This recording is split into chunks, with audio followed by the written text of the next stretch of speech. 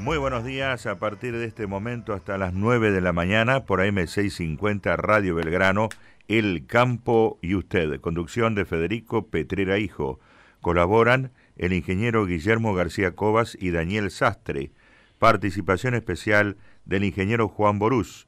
Sección Apicultura Leandro Frigoli. Operación técnica los señores Gabriel Jerez y Silvio Soler. Producción y locución Enrique Calle Herrera. Locución general quien habla Mario Oscar Mango. Producción general Federico Petrera Hijo. Muy buenos días también a la gente, a nuestros oyentes de Radio Meridiano de Mercedes. Federico, buen día para el país. Buen día, buen día Mario. Muy buen día a toda nuestra audiencia.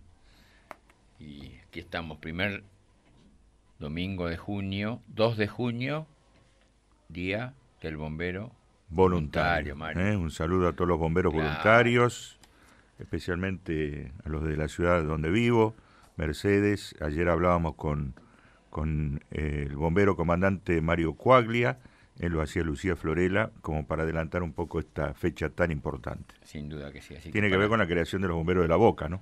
Exactamente, ¿Eh? una de las dotaciones más históricas que tiene la ciudad de Buenos Aires, en la Boca. Bueno, y aquí estamos para presentar este programa número 1153. 1153, el 503 aquí en la tapa de, Radio Belgrano, en AM650. Buen día, Gabriel Jerez, allá atrás de los controles. Está Gaby. Buen día, Kai Carrera, en la, producción. Ya está dando vuelta acá en el estudio. Exactamente. Aquí estamos desde temprano preparando eh, todo lo que significa el contenido de este programa como siempre lo hacemos, lo presentamos. Estábamos debiendo del programa anterior. En realidad nos lo envió el, amigo David en nombre de Eduardo Pérez, una carta. La vamos a compartir con nuestra audiencia este domingo 2 de junio. Tendremos, como siempre, la presencia del ingeniero Juan Borús. El viernes pasado, el viernes 31, hemos estado en, en primera hora de la mañana en la Experimental Delta del Paraná, acompañando el inicio. Finalmente se pudo llevar a cabo el taller a campo que bajo el nombre de Optimizando la producción de pasto y el manejo de rodeo ganadero de islas se realizó finalmente después de un par de, de suspensiones por el clima y acompañamos el inicio de, de la jornada y el final. En el medio avanzamos un poquito, nos fuimos hasta Río Carabelas a acompañar los festejos de los 100 años de la escuela número 26, la escuela que lleva el nombre de Yapeyú, eh, así que también estuvimos ahí. Al retornar a la estación experimental grabamos una nota con, con Juan Diego Ravalli para que nos redondeara la información de cómo había sido la jornada de taller a campo en el tema pasto y manejo de rodeo ganadero de islas. En nuestra sección apicultura, como somos insistidores, vamos a intentar nuevamente comunicarnos con Johnny Rojas Rojas. Eh, Johnny es una figura muy conocida en el ambiente apícola, primero por su calidad de, de productor, con un trabajo muy importante en Australia, en estos momentos aún está en Australia, eh, difundiendo la apicultura de su país a través de CONAPI, pero también difundiendo todo lo que significa la apicultura de habla hispana.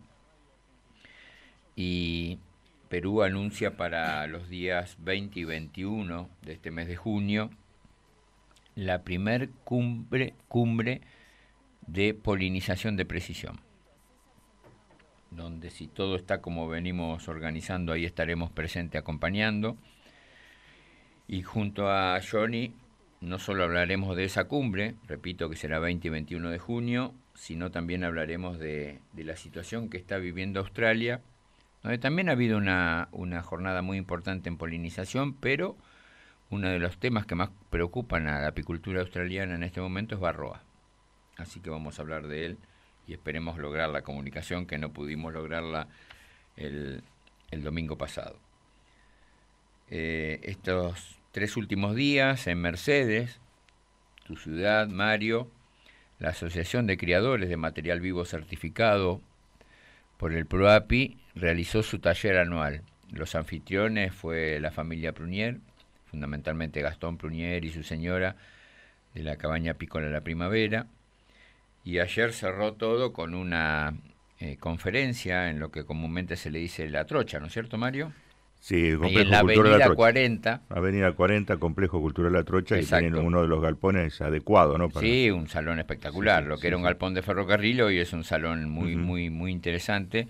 Ha habido una conferencia, una charla de Antonio Fabro y Daniela Avena en el tema recambio de reinas. Al finalizar, porque hemos estado presentes, eh, grabamos un reportaje con Antonio y con Daniel, lo vamos a presentar en este programa.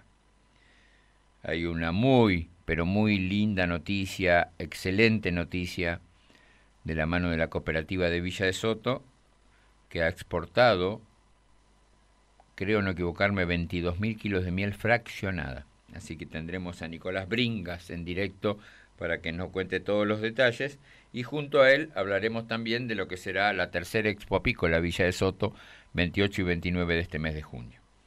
Y el próximo viernes, sábado y domingo viviremos una nueva Expo Miel Azul, la Expo Miel Azul 2024, y estará en directo el presidente del Centro de Apicultores de Azul, nuestro amigo Fernando Lapi.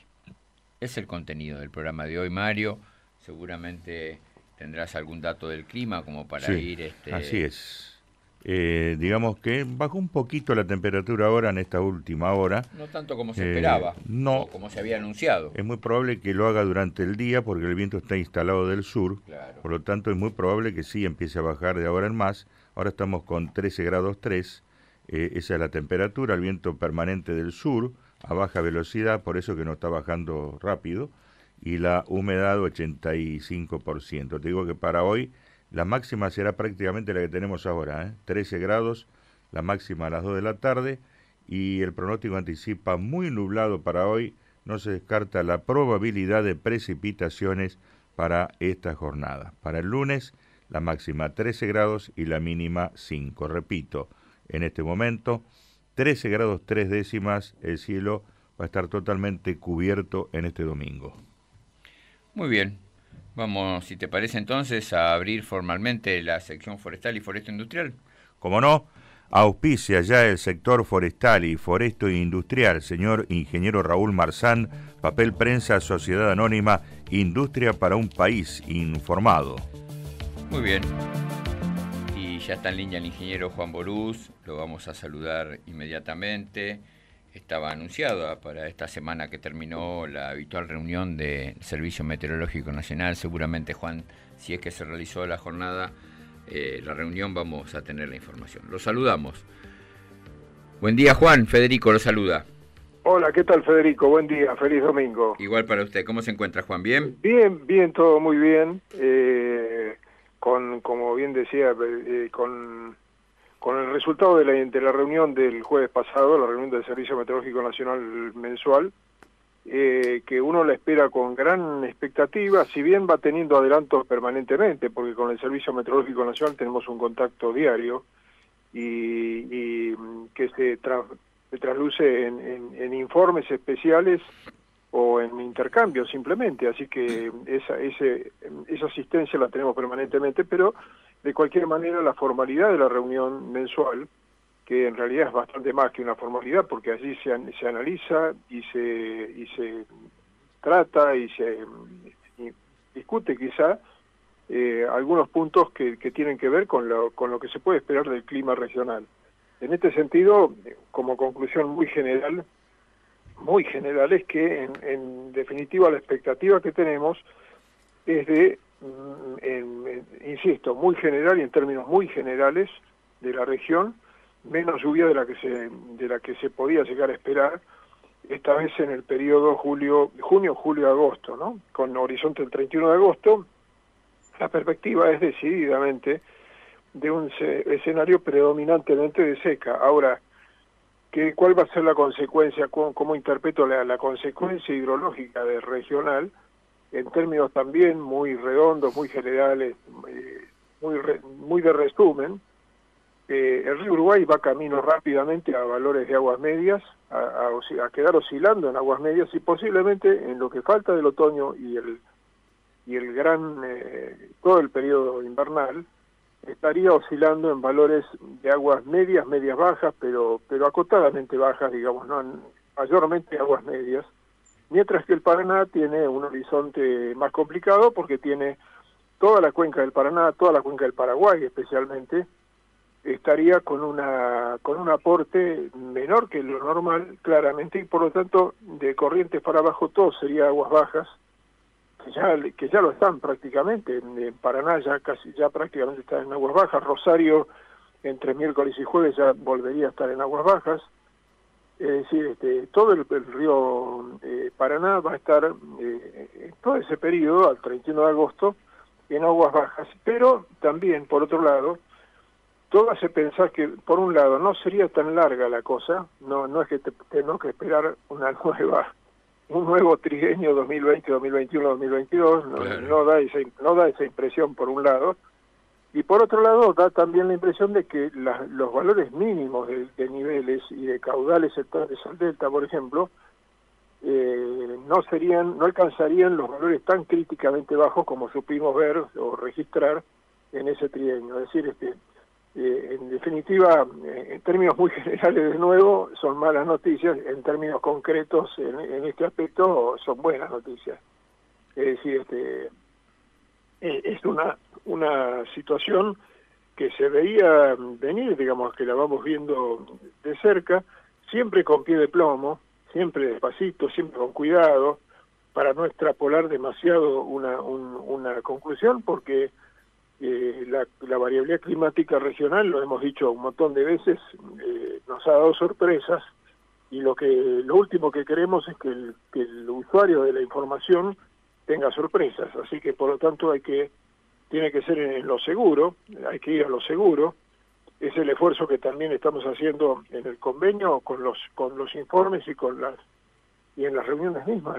todo el esfuerzo que se hace es especialmente dedicado a tener un contacto directo con el, con el usuario de la información, con el usuario del recurso hídrico en general, y insisto, aprovecho la oportunidad para, para recordar al que nos está oyendo y que, y que tiene una, que recibe esa información, eh, lo importante que es tener devolución, como se suele decir actualmente, ¿no? Es decir, este, su opinión, su recomendación, su aporte, que por ejemplo el que hace Alberto González, que es valiosísimo y en general el que hacen tantos otros con los que tengo intercambio o tenemos intercambio que es este que es realmente muy oportuno y muy bueno porque nos, nos, nos hace una composición de lugar de lo que estamos evaluando desde el punto de vista técnico, cómo se transforma en un impacto, un impacto productivo, un impacto en la circulación general de la región, etcétera. Eh, esto es muy importante recordarlo.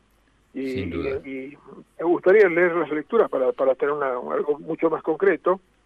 Perfecto. Eh, Yo tengo la de, eh, nombró recién Alberto González, ya le adelanto, Alberto ayer a última hora nos pasó la altura del mismo día sábado de ayer, 0.38 en baja, en lenta baja, dice Alberto. Sí, es, claro, esa tendencia está relacionada con lo que pasa, por ejemplo, en Puerto Ruiz, que, está, que, que es el es la descarga del, del río Boleguay y que está muy sometido a lo que esté pasando en el delta.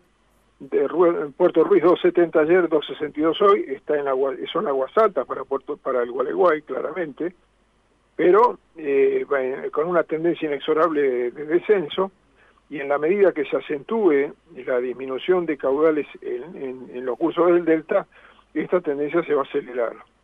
Eh, yendo a Puerto Iguazú, empezando por arriba, 7.90 ayer, 7.80 hoy, son oscilaciones que de alguna manera sostenidas, entre comillas, sostenidas por la descarga del, del, del Iguazú, del río Iguazú, que, que todavía está en, en valores, ahora hoy, hoy posiblemente y hoy mañana ya queda en valores de normales o levemente por debajo de lo normal, pero ha tenido pulsitos de, de, de, aumento, por no decir de repunte y mucho menos de crecida, porque la crecida no tuvo nada, pero una, un, fugaz encuentro con el valor normal durante las últimas 12, los últimos 10 días, eh, gracias a lluvias que cayeron sobre, mayormente, por un lado sobre las nacientes del río Iguazú, pero también sobre la cuenca baja, hubo algún evento sobre la cuenca baja importante, y pero ya, como digo, ya está yendo hacia abajo, ya está haciendo, eh, en, la semana va a quedar oscilando en valores levemente por debajo de lo normal, o sea, y, esa es una,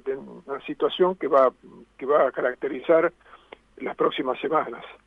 Corrientes ayer 2.12, hoy 2.40, está oscilando, oscilando en valores realmente de aguas bajas claramente, no tiene una perspectiva de recuperación, al contrario. Rosario 2.65 ayer, 2.63 hoy, muy lentamente, pero como digo, en la semana, quizá el jueves, ya estemos hablando de lecturas de escala en Rosario por debajo de 2.40. Eh, San Pedro 1.76 ayer, 1.54 hoy, le vale lo mismo, va a quedar oscilando en aguas, en aguas bajas. Eh, Puerto, Ibicuí, Puerto Ibicuí, un metro ayer, 0.70 hoy, claramente también este, está oscilando muy dependiente de lo que pasa en el estuario. San Javier, pasando al río Uruguay, 3.46 ayer, 3, 3 metros hoy. Eh, no ha llovido sobre la alta cuenca del Uruguay, con lo cual el aporte de toda esa región, y especialmente el aporte de la cuenca misionero brasileña, que es la más activa de, toda la cuenca del Uruguay, de toda la cuenca del Plata, diría yo, eh, está mermando, por lo tanto la tendencia descendente también es inevitable. Paso de los libres 7.52 ayer, 7.25 hoy, ya está por debajo de alerta a partir de hoy, y va a continuar el descenso, claramente un descenso que se preveía que fuera lento, pero ahora ya, eh, si bien está por debajo de alerta, es son aguas relativamente altas. Sí, claro. Y, en su descenso, que va a continuar, va a quedar oscilando en aguas medias. Salto Grande ayer 35.10, 35.11, es interesante que lo mantiene oscilando por encima del nivel operativo normal, aprovechando que noten que no hay una perspectiva de lluvia sobre la cuenca inmediata del embalse, y de esta manera compensa con salto eh, el, valor de, el nivel en la de restitución del río Uruguay que está alto por porque el caudal todavía es importante todavía el, caudal que descarga si bien ha venido disminuyendo pero todavía es importante tal como se preveía digamos que fuera un descenso, una disminución muy gradual del caudal. Eh, Concordia en consecuencia 9.34 ayer, 9.16 hoy, son valores altos, claramente por debajo de alerta, pero un nivel alto igual, va a continuar en disminución. Eh, Gualeguaychú 2.78 ayer, 2.78 hoy, lo, vale lo mismo. Gualeguaychú, a pesar de, nivel, de tener un caudal alto del río Uruguay, un caudal importante, sigue siendo, eh, quedando a expensas de lo que pasa en el estuario. Eh, Villa Paranacito 1.98 ayer, 1.92 hoy, le vale lo mismo, por debajo de la alerta, pero también relativamente alto y, agarrado con alfileres, digamos. Sí. Sopla, sopla un vientito y tenemos Paranacito por encima de los 2.30, ¿no? Y finalmente el estuario, eh, 0.80 ayer, 0.39 hoy en, en el puerto de Buenos Aires, en Palermo, eh, tranquilo y tiene en principio tendría, vamos a ver eh, que, cómo se ve mañana el, ajuste, pero en principio eh, está teniendo una, una, una, situación comparativamente tranquila. Digo comparativamente porque ayer este, Adrián González hizo un ajuste de, de la revisión para atrás de las crecidas que ha habido este año, con solo mirar la lista uno se agarra la cabeza, porque realmente es un año récord son situaciones de pico 36 y pico, digamos, eh, como algunas son doble pico, uno resumen 32, en 32, 33, 33 crecidas en lo que va del año, es, es una barbaridad realmente terminar mayo con 33, con 33 crecidas, algunas, como digo, tres son de doble pico, eh, es realmente muy llamativo, es un, es un año récord claramente,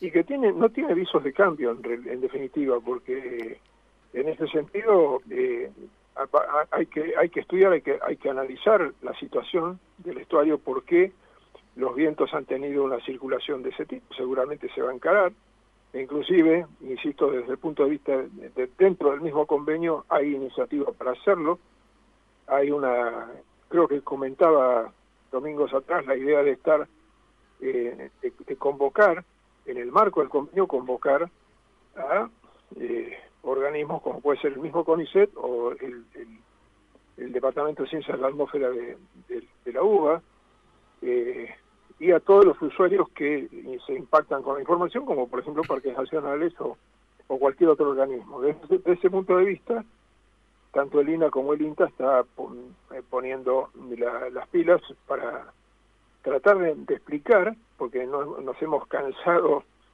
siempre de mencionar el estadio como un forzante obligado de todo lo que pasa en el delta, especialmente en el delta frontal, y, bueno, es un, es un elemento que se lo, que se lo sigue, que la gran dinámica, eh, la gran dinámica está concentrada ahí, la gran dinámica de la cuenca del Plata. Así que bueno, esa es la situación, Federico, y como digo, para adelante, en principio, mala noticia de, tener una situación predominante de seca y baja eh, hasta el 31 de agosto, pero por otro lado, buena noticia, no tan grave y no tan larga como aquello que supimos ver. Esa es la situación. Eh, con respecto a las alturas que usted fue comentando el día de hoy, paso de los libres ahí ya debajo del nivel de alerta, Concordia también bastante un poquito abajo del nivel de alerta o Paranacito atado con alfileres, como usted dijo, eh, ¿se espera que vayan bajando también en, los próximos días de a poquito? Sí, va a predominar una tendencia media descendente, eso está claro. Sí, sí. Eh, digamos que, de acá, a, de, hoy a, pongámosle para no ser muy, no apresurarme mucho, pero en 10 días la situación, una semana, entre una semana y diez días, podríamos decir que el, río Uruguay quedaría todo eh, oscilando en aguas medias, con la salvedad, por supuesto, de que estamos hablando del río Uruguay, que el río Uruguay tiene una memoria corta. Que reacciona rápido. claro, un río que, río que reacciona rápido, que solemos decir que funciona por, por eventos, y un evento que se desarrolla eh, y em, empieza, se desarrolla, culmina y y vuelve a la normalidad, todo eso concentrado en una semana, por lo tanto es un de paso semanal concretamente, ¿no? Sí, claro. Pero en principio da toda la sensación de que vamos a tener una situación estable de aguas medias en las próximas semanas. Esa es la perspectiva que tenemos para el río Uruguay. Perfecto, Juan. ¿Nos queda algo más para este domingo? No, no, en principio no, en, general, en términos generales esa es la idea. Bueno, como siempre, muchas gracias, buen domingo, buena semana. Gracias, buena semana, Federico. Un abrazo a todos. Hasta el domingo el ingeniero Juan Borus en nuestros micrófonos aquí en el campo y usted por Radio Belgrano AM650. Avanzamos, Mario, con nuestra primer tanda, por favor. Como no, Buena, hermanos e hijos, cuatro generaciones de foresto industriales con una meta, calidad y servicio. Buena hermanos e hijos, teléfono 011 47 15 0096, correo arroba urionabuena.com.ar. Ederra Sociedad Anónima, en Álamo Todo, tableros alistonados, calibrados y lijados, Colón 452, San Fernando, teléfono 011-4-744-0223, ederra.com.ar. Seguimos en el campo y usted.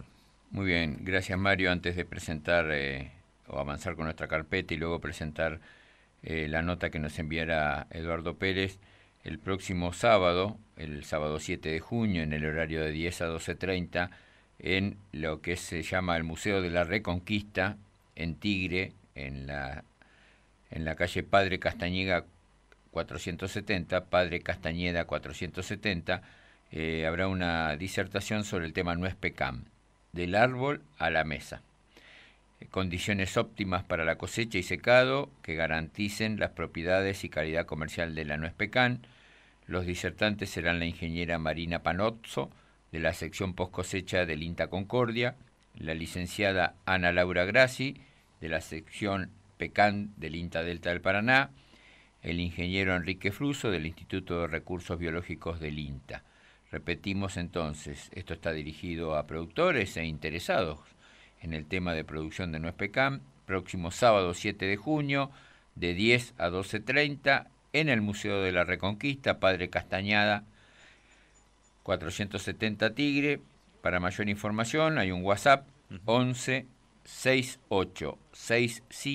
2188. Repito, hay un WhatsApp en el horario de 8 a 16.30 11 68 65 2188. La organización de la Agencia de Extensión Rural Delta Frontal, del Experimental Delta del Paraná, junto al INTA Concordia y el proyecto regional Producciones Intensivas. Nuez PECAM el próximo sábado 7 de junio de 10 a 12.30. Avancemos con la tanda, Mario, y luego presentaremos la nota que nos enviara, la carta que nos enviara Eduardo Pérez. Buena hermanos e hijos, cuatro generaciones de foresto industriales con una meta, caridad y servicio. Nuestro teléfono 011 47 15 0096, correo arroba urionabuena.com.ar. Ederra Sociedad Anónima en Álamo Todo, tableros alistonados, calibrados y lijados. Colón 452, San Fernando, nuestro teléfono 011 4 744 0223 ederra.com.ar. Seguimos en Radio Belgrano y también en Meridiano de la ciudad de Mercedes. Muy bien, gracias Mario. Y ahora sí vamos a presentar la carta que nos enviara el sábado pasado por la noche eh, nuestro amigo Eduardo Pérez. No llegamos a procesarla para el programa anterior, pero ahora sí. La compartimos con toda nuestra audiencia, por, por favor, Gabriel. Estimado amigo Federico, espero te encuentres bien junto a tu familia. Como siempre recurro a tu espacio El Campo y usted para expresar mi más honda preocupación por las inundaciones que están sufriendo los hermanos uruguayos y parte norte de la Argentina después de haber pasado el año anterior por sequías e incendios que hicieron mucho daño al medio ambiente, a la producción y principalmente a nivel humano por la pérdida de producción y trabajo de muchos años. Creo que llegó el momento de pensar que estamos en un momento muy crítico donde la naturaleza nos está pasando factura. Pensemos también que esto que está pasando ahora va a ser una consecuencia de la deforestación, contaminación industrial y el parque automotor tenemos todos la responsabilidad de cuidar la naturaleza porque es el futuro de nuevas generaciones. También es la responsabilidad de todos los gobiernos del mundo. Es tener eh, políticos de Estado a nivel mundial que puedan salvarnos de este desastre climático y ambiental que está sufriendo el mundo. Lo que va a suceder está a la vista. Todo esto va a traer destrucción del planeta Tierra, miseria y hambre para la humanidad. Todavía estamos a tiempo de salvarnos y trabajamos todos juntos con gente que tenga conocimiento de causas sobre el tema ambiental y nos desprendamos de intereses personales y políticos en bien de todos. También quiero poner de relieve el gran trabajo que viene haciendo el ingeniero Juan Borús en cuanto a la información referente a los ríos que haciendo desde hace muchos años con un seguimiento serio y verdadero y sin intereses particulares, a eso hay que sumarle el servicio de alerta que junto a Adrián González, el grupo de mimbreros, ponen en alerta sobre posibles crecidas del río de la Plata, información que tiene gran valor para la vida de los isleños. También quiero poner en conocimiento a las entidades ambientalistas que todos queremos salvar al medio ambiente y los humedales y para eso hay que hacerlo cuidado y productivo. Y van a ser los árboles gran parte de la solución al problema climático y ambiental porque serán los árboles los que rescaten toda la contaminación ambiental de la industria y parque automotor regule la temperatura ambiental y las lluvias. Solo le pido a jóvenes ambientalistas que quieran salvar los humedales que hagan una prueba sencilla y práctica. Compren dos aparatos, uno para medir las lluvias debajo de los árboles y otro a la intemperie, y dos aparatos para medir la temperatura ambiente debajo del árbol y otro fuera del árbol y al cabo de las cuatro estaciones del año se van a encontrar resultados positivos de lo que pueden hacer los árboles para el medio ambiente y el clima. Muchas gracias Federico por el espacio y estar apoyando siempre a los isleños y al Delta. Tu amigo Eduardo Pérez. Muy bien, muchas gracias a Eduardo que siempre tiene la gentileza de compartir con a través nuestro todas sus opiniones. Así que gracias a él, sin duda. Vamos a avanzar, Mario, por favor. Cómo no, Uriona Buena, hermanos e hijos, cuatro generaciones de foresto industriales con una meta, caridad y servicio. Nuestro teléfono 011 47 15 0096, correo arroba urionabuena.com.ar. Ederra Sociedad Anónima, en Álamo Todo, tableros alistonados, calibrados y lijados, Colón 452 San Fernando, teléfono 011 4 744 0223, ederra.ederra.com.ar. Seguimos en el campo y usted, en la técnica, el señor Gabriel Jerez, en la producción general, Enrique Cay Herrera, conducción Federico Petrera Hijo. Bueno, gracias Mario. Así como comentábamos recién que el viernes 7 estará el tema de Nuez Pecan en, en, en esas disertaciones, eh, habrá una nueva edición de la Feria de Productos del Delta en el Puerto de Frutos el próximo sábado 8 de junio, como siempre el horario de 11 a 17. El lugar, lo repetimos, las casuarinas y los ceibos, Puerto de Frutos. Estará toda la producción de nuestro delta, cítricos y verduras de estación, nuez pecan, hongos, productos de la colmena, plantines de hortalizas, dulces elaborados con nuestra producción del delta y habrá también espacios para degustación. Feria de Productos del Delta, Puerto de Frutos, nueva edición, próximo sábado 8 de junio de 11 a 17 horas. Avancemos, Mario, por favor. Urión hermanos e hijos, cuatro generaciones de foresto industriales con una meta, calidad y servicio. Teléfono 011 47 15 0096, correo arroba urionabuena.com.ar. Ederra Sociedad Anónima, Nálamo Todo, tableros alistonados, calibrados y lijados, Colón 452 San Fernando, teléfono 011 4 744 0223 ederra.ederra.com.ar. Seguimos. Bueno, gracias Mario. Lo comentábamos al inicio de nuestro programa, lo que hemos tenido la posibilidad de, acompañar el festejo de los 100 años de la Escuela 26, Yapeyú en Río Carabela, escuela primaria, eh, como todo acto de esa naturaleza emotivo, sin duda. Ahí pudimos estar.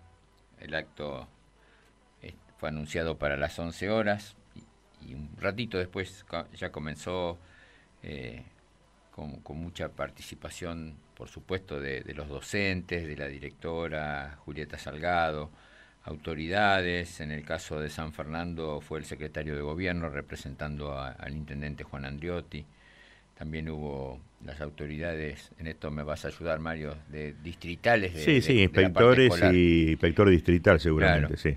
Bueno, fue un caso curioso que quien tiene a cargo la parte distrital, este, estando 31 años en, en la docencia, por primera vez visitaba la escuela Yapeyú, menos mal.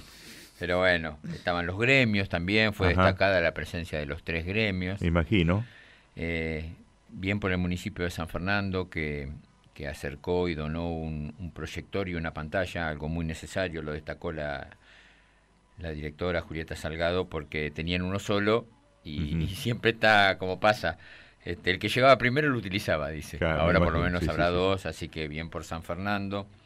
Eh, hubo entrega de reconocimientos a directores anteriores, como Andrea Basso, ya jubilados, o Marcelo Laurito, que fue secretario durante bastante tiempo. Alumno egresado seguramente también. y, auxiliares como Elsa Méndez, que que ya está jubilada, docentes que se retiraron, Miriam Nerendi, Graciela Ramos.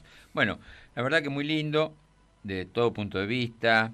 El Consejo de Productores del Delta eh, entregó una placa recordatoria, lo cual siempre es eh, acompañar de una u otra manera a, la escuela.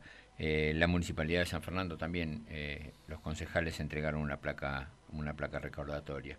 Y nosotros acá, que más allá de acompañar, este, estamos degustando un par de budines, sí, tal cual.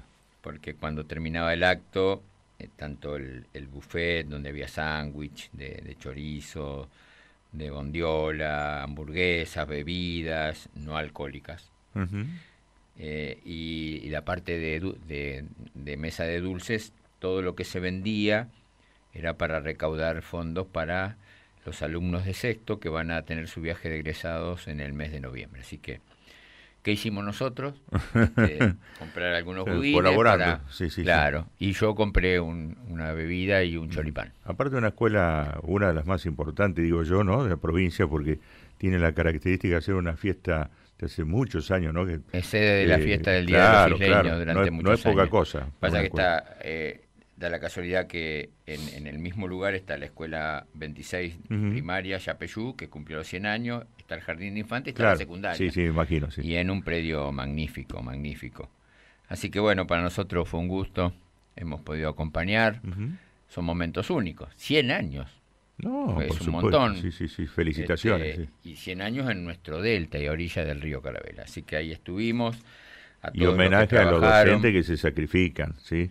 Veníamos hablando de ese tema contigo, ¿no? Este, ante veces tantas faltas inadecuadas, y lo dice un docente que se jubiló no hace mucho, eh, ahí le ponen, este, van a la trinchera, ¿no? Tienen que navegar, llegar a la escuela, no es fácil, no es fácil. Este, la directora también, por supuesto, que agradeció a todo el personal, a los auxiliares, eh, a la Asociación Cooperadora. Nosotros tuvimos la oportunidad, en caso mío, de charlar un, ratito con Edgardo Roa, que justamente preside la Asociación Cooperadora. Eh, fue un gusto para mí, en lo personal, poder saludarlo. Eh, como siempre lo digo, uno trata de acompañar, que otra cosa no podemos hacer, y, y de la manera que podemos tratar de difundir también una escuela que como bien has dicho Mario y que conoces porque hemos ido en un par de oportunidades, ha ido con, con Janine, un hermoso Zoom, un hermoso predio. Sí, sí, sí. En este caso se utilizó el salón más, más pequeño, pero y el día acompañó, que no es poca cosa. Así que Escuela 26, Yapeyú, Río Carabela, felices primeros 100 años. Muy bien, muy bien, felicitaciones. Exactamente, vamos a avanzar. Primero voy a, quiero agradecer los saludos de Mingo Pérez, como siempre, del Arroyo Rico y mandar un saludo a un oyente, a don Renoulín, que ahora vamos a comentar que hemos estado también en la jornada de manejo de, forrajes y pasto, optimizando la producción de pasto y el manejo de rodeo ganadero de islas. Así que le mandamos un saludo a don Renoulín y a su hija Elena, que es parte integrante de la Estación Experimental Delta del Paraná, que no nos escucha en directo ella. Vamos a decirle a don Renoulín que la tiene que levantar para que nos escuche en directo. Vamos a avanzar con nuestra carpeta, Mario. Uriona Buena, hermanos e hijos, cuatro generaciones de foresto industriales con una meta, calidad y servicio. Teléfono 011 47 15 0096, correo arroba urionabuena.com.ar. Ederra Sociedad Anónima, en Álamo Todo, tableros alistonados, calibrados y lijados, Colón 452 San Fernando, teléfono 011 4 744 0223 ederra.com.ar. Seguimos en el campo y usted. Muy bien, y ahora sí, eh, previo a nuestra llegada a la escuela 26, porque justo dio la casualidad que el mismo día, después de un par de, de, de postergaciones por el tema de clima, de clima, se realizó la jornada taller a campo, optimizando la producción de pasto y el manejo de rodeo ganadero de islas. Todo comenzó en la experimental Delta del Paraná, en el, Zoom que lleva el nombre de nuestro queridísimo y recordado ingeniero Raúl Suárez, eh, con una muy, muy, pero muy linda e, e interesante presentación por parte de, de la Cátedra de Forraje de la Facultad de Agronomía de la Universidad de Buenos Aires. Estuvieron Natalia Cavidez y, Pilar Clavijo. Nosotros escuchamos esa primer parte, después hubo una salida a campo que ahí sí no, no estuvimos, pero al regresar de la escuela número 26 llegamos justito al final y pudimos grabar un reportaje con el médico veterinario, con Juan Diego Ravalli, que lo vamos a compartir en este momento. Así que Juan Diego Ravalli, en nuestro programa El Campo y usted, aquí en Radio Belgrano, haciéndonos un resumen de lo que ha sido este taller a campo del pasado viernes 31. Vamos. Acaba de finalizar la jornada Juan Diego Ravalli en el campo de usted. Buenas tardes. Buenas tardes Federico, buenas tardes a toda la audiencia. La verdad que una jornada muy gratificante, eh, cerca de 20 productores nos acompañaron hoy. Eh, la cátedra de la uva de, de, forragicultura, la verdad que nos dio cátedra, hablando, redundanciando un poco. Eh, sobre cómo manejar nuestros pastos, eh, saber y conocer la composición florística de nuestros pastizales para tratar de ese modo aprovecharlo de la mejor manera. Una cátedra que comenzó hablando de gramíneas, leguminosas, y uno dice todo es pasto, y no es así. Exactamente, no todo lo que vemos verde es pasto, hay distintas características, hay leguminosas, hay gramíneas, hay anuales, hay plurianuales, bianuales, y en base a eso, digamos, uno se tiene que hacer el ojo para empezar a definir cómo pastorear, con qué categoría pastorear, qué requerimientos tienen esos pastizales, sea de nutrición, de, agua y, bueno, todo lo que hace a, la permanencia de esas especies, digamos, eh, en el potrero, porque si uno hace mal las cosas, empiezan a desaparecer las especies más favorables para la ganadería y empiezan a colonizar las especies más invasoras, más rústicas, llamémosle, que no son palatables ni de buena calidad para nuestro ganado. Me quedó, tomé nota de algunos temas, después me fui a acompañar un poco lo que ha sido los festejos de los 100 años de la Escuela 26 de Río Carabela, la Escuela Yapeyú, y regresé ya sobre el final. Eh, gramíneas, y, qué, fácil pareciera, y corregime si lo interpreté mal, saber si estamos, eh, ¿cómo te puedo decir?, aprovechando bien, y lo que nos dijeron fue así. Siempre tiene que tener tres hojitas. Y cuando van a hacer una, hay una que se seca. Si tenemos menos de dos, hay que dejar descansar sí o sí. Exactamente. Cuando a gramíneas anuales nos, referimos, eh, hay que dejar que tenga las tres hojas en desarrollo y la, y la, la que nació primero esté ya ceneciendo. Ese es el momento óptimo para entrar a pastorearlo. Y, cuando, y no irnos del poteo excesivamente comido, siempre hay que dejar un remanente porque las gramíneas no tienen forma de hacer reservas si no fuese por su propia fotosíntesis. Entonces algo de materia verde tenemos que dejarlo en superficie para que vuelva el ciclo a comenzar, acumulen reserva en las raíces y después vuelvan a generar nuevas hojas. Y así, bueno, de acuerdo a cada tipo de gramínea va a ser los tiempos de descanso que tenemos que darle a cada planta en particular. Entre los productores que estaban presentes, obviamente había de sitios de nuestro delta con mayor o menor con mayor manejo del agua, otros con, como dijo Adrián González, el río avanza cuando quiere, cuando tiene ganas, y a eso me refiero cuando viene una crecida, este, se dijo que eh, pueden aguantar una X cantidad de días, si la hojita pasa por arriba del agua tiene una mayor posibilidad, ¿lo entendí bien? Exactamente, sí, si el, área foliar está por encima del pelo de agua, eh, la planta tiene más probabilidad de, subsistencia. Si queda totalmente saturada de agua o bajo el agua, probablemente se pudra, no pueda oxigenarse la planta eh, y hacer su propia respiración. Sabemos que la fotosíntesis es el, proceso respiratorio inverso al que hacemos los mamíferos. Hasta acá venimos hablando de gramíneas, entre comillas, pasto, no sé si es exactamente igual. En cuanto a leguminosa, la, cosa va cambiando también. Sí, la leguminosa nos explicaron claramente que tiene la capacidad de generar reservas en, lo que se llama la corona, que es una fase intersticial de la planta entre los tallos y las raíces, y es ahí donde ellas acumulan sus reservas. Entonces, las plantas leguminosas que mayor corona tienen o mayor eh, reserva pueden acumular, se pueden pastorear más profundamente, llamémosles, dejarlas más, dejar más pelados los potreros y de esas reservas pues la planta se va a nutrir para generar nuevamente hojas y que nos pueda brindar forraje nuevamente. Para nuestro delta, eh, ¿cómo sería el, el combo ideal? Bueno, un poco de eso hablamos hoy en la recorrida a campo, tratábamos de, de mostrar un poco lo que tenemos en la experimental, que básicamente es un campo natural de la isla, con las modificaciones que se han hecho en el ecosistema, de manejo de agua, eh, y, bueno, y lo que sí tratamos, digamos, de, no seducir a, los productores o no incentivarlos a hacer demasiados eh, movimientos de suelo, a no tratar de venir con recetas eh, extrapolar recetas del continente que muchas veces fracasan, digamos, nuestros niveles de saturación de agua a veces en los suelos hace que muchas especies que en, el continente eh, reaccionan o producen de una manera, en la isla no sea lo mismo.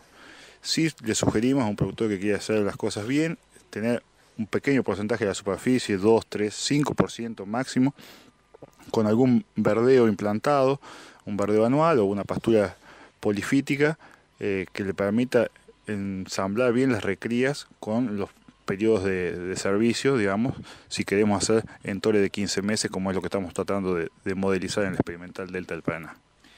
Vengo un poquito para atrás en lo que fue la cátedra que nos dio la cátedra, y yo, como siempre, tomo nota. Este, tenemos anuales, tenemos perennes. A ver si lo entendí bien. Una, una anual eh, nos da un forraje de calidad en el momento crítico? ¿Fue así que lo dijeron? Las anuales invernales, eh, son las que nos proveen de, forraje en calidad y en cantidad en el momento más crítico para los pastizales naturales, que es ahora el otoño, y, el fin del otoño, el invierno y el arranque de primavera, que es cuando nuestros campos naturales terminan estando secos, digamos, las pasturas naturales del delta son eh, bien de, primavera, verano y parte del otoño. Después en el invierno casi no producen. Eh, y entonces ese es el bache que tenemos que tratar de, subsanar y, allanar la curva, digamos, de, decaimiento de la oferta forrajera para que nuestro rodeo no, no sufra de la misma manera. ¿Cuál fue el diálogo con los productores que han venido de diversos lugares del Delta? Todavía no terminó la jornada, está el almuerzo, pero está el intercambio de, de charlas, digamos. Sí, sin duda estamos en el momento de cierre, donde cada uno hace sus propias conclusiones y la verdad que creo que todos han ido muy conforme, más allá, digamos, que, que la idea de este taller era, esa, digamos, ¿no? Dar un, una clase, digamos, de saber el nombre científico de una planta o, de saber el nombre de cada planta en particular, sino saber diferenciarlas eh, por sus formas, por su, su aspecto, por su textura, poder tocar una planta y saber eh, qué tan nutritiva o palatable puede ser para el animal y, bueno, en base a eso, saber cómo comerlo y, hasta cuándo. Y cada cuánto tiempo podemos volver a entrar al mismo potrero. Hoy, 31 de mayo. Prácticamente ha transcurrido prácticamente casi todo el otoño. Siempre se dice que son momentos críticos desde el punto de vista de lo que necesita un animal. ¿Cómo está el año hasta este minuto? Ay, ay, ay, qué pregunta, ¿no? Una pregunta que surgió varias veces hoy en el transcurso del taller, digamos, donde cada productor expresa su, su experiencia, digamos, y cómo ve el año por delante. Eh, creemos que hay algo climáticamente, no sabemos a qué echarle la culpa, sí a los 400, 500, 600 milímetros que llovió eh, eh, en exceso en algún momento. No nos olvidemos que veníamos de tres años de sequía y después en lo que va del año ya en menos de dos meses llovió lo que debería llover en seis, siete meses, distribuido más equitativamente.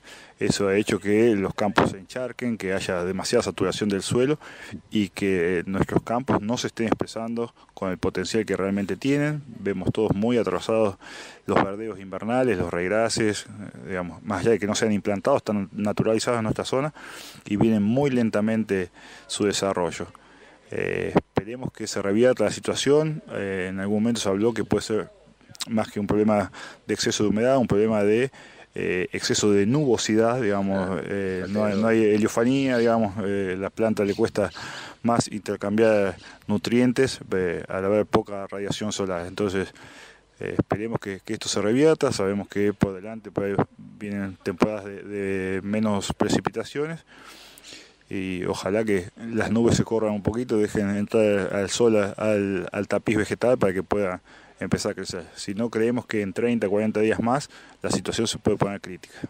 La última para Juan Diego Raval, y si, si hablamos de una eh, situación compleja de 1 a 10, ¿en qué, ¿en qué punto lo ubicás? Y hoy te diría que estamos en 6, pero eh, estamos justo en el momento próximos a donde empiezan las pariciones, eh, acá en la experimental en particular, pero ya algunos campos empezaron a registrar partos.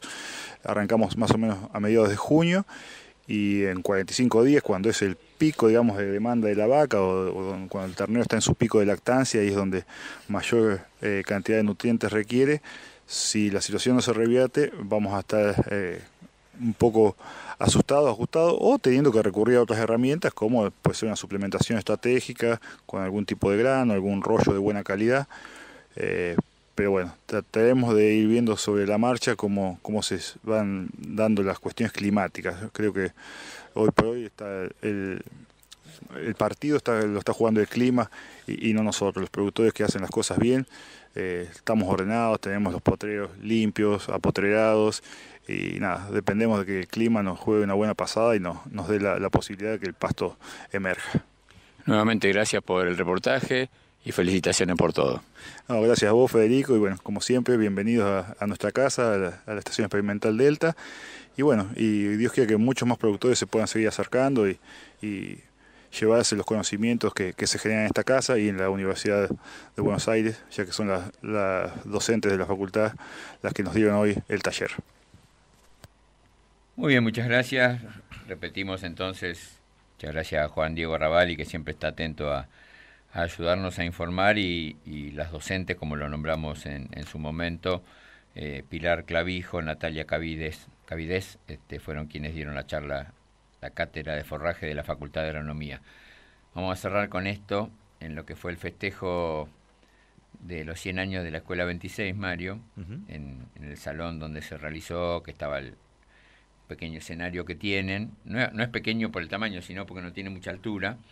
Eh, había todo un, un, cartel de fondo, decía 100 años, Escuela 26, y dice así, la educación es un acto de amor, por tanto, un acto de valor. Con esto cerramos hoy, Mario. ¿Cómo no? Sección forestal y foresto industrial. Feliz cumpleaños, Escuela 26. Dale nomás. Muy bien, auspició el sector forestal y foresto industrial, señor ingeniero Raúl Marzán, papel prensa Sociedad Anónima, Industria para un País Informado.